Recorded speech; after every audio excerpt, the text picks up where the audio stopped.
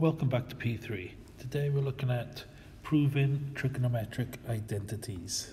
And this is unit 4.6. Now you've already been doing some proving previously in the course.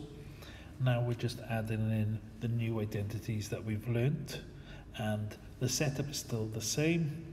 I'll do an example just to show you and I'll give you plenty of questions which then I'll go through at the end of the video. Let's make a start. So if the question starts with show that or prove that, um, then you need to approach it just by looking at one side. The biggest thing that people make, biggest mistake, is that they focus on doing things to both sides as if it's an equation when it's an identity. So we have to just focus on one side of the identity and manipulate it until we get it to the other side. So in this question, we're going to start with the left hand side.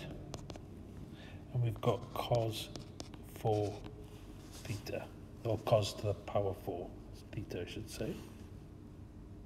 Now looking on the right hand side we've got 2 theta and 4 theta. So we know we're going to be dealing with double angles.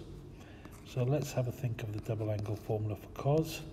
And this is 2 cos squared theta minus 1 and that's the one I'm using because everything in my identity at the top is in terms of cos. And then rearranging this I'm going to end up with cos squared theta is going to be a half cos 2 theta plus a half. And this is what I'm going to substitute in. So my cos to the 4 theta is cos squared theta squared or cos squared theta times cos squared theta however you want to think about it.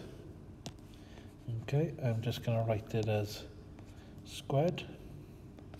So this is now a half cos 2 theta plus a half squared. And I need to expand this bracket. So remember square this first term twice the product and square that last term. Okay, and now we've made some progress. But what you can see is I've still got a squared term here. So that means I still need to use this again, but this time with the 2 theta. So I'll do this in black so you can see. But what I'm looking at now is a half. So if I look at cos squared 2 theta, and this would be a half cos 4 theta plus a half. So that is my second substitution there. So now I've got one quarter and then it's a half cos 4 theta plus a half plus my half cos 2 theta plus 1 quarter. And now it's about expanding and simplifying. So I've got 1 eighth cos 4 theta plus 1 eighth plus a half cos 2 theta plus 1 quarter. 1 eighth plus 1 quarter is 3 eighths plus a half cos 2 theta plus 1 eighth cos 4 theta and that there is the right hand side. So I've shown it. And I've done every step. And I've got my substitution on the right. So there's nothing to stop me getting full marks on this one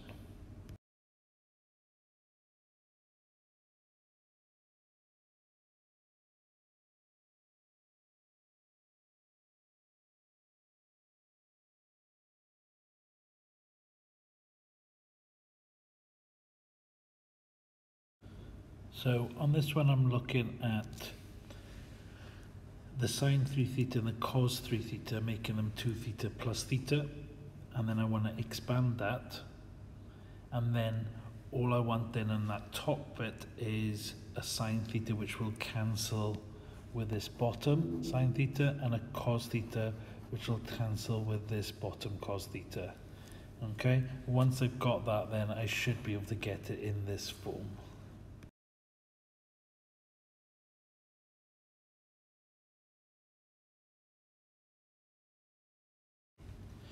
Here you can see there's a sine theta in both of my top terms.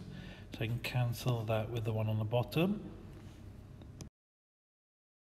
And then on the right here, there's a cos theta in both of my top terms, which will cancel with that on the bottom. And simplifying, this leaves the cos 2 theta and the minus cos 2 theta to cancel out. And I'm going to end up with a sine squared and a cos squared, which I know that that equals 1.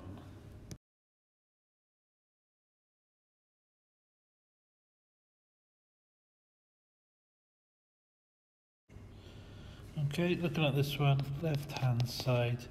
Now, we want to make these as a single fraction. You can see the bottom there, sine b cos b, sine b times cos b. So we just want to make this a single fraction.